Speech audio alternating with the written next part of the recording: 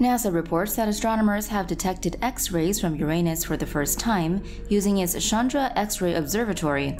Uranus is the seventh planet from the Sun and has two sets of rings around its equator.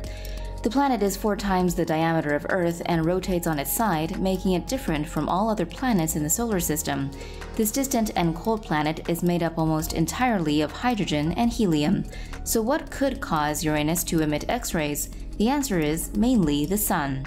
Astronomers have observed that both Jupiter and Saturn scatter X ray light given off by the Sun, similar to how Earth's atmosphere scatters the Sun's light. One other possibility is that the rings of Uranus are producing X rays themselves, which is the case of Saturn's rings.